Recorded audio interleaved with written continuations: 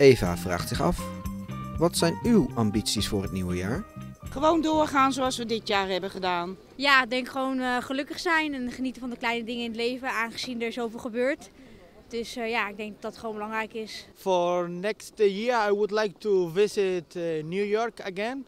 Uh, because I want to improve my English and I think it's a good voyage. Ik wil graag iets minder druk maken op school en wat relaxter doen. Werk zoeken. Werk zoeken.